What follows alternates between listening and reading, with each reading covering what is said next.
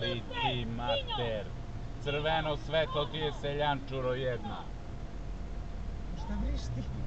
Pa ti namerno se zavučeš. A nisi udario, ne?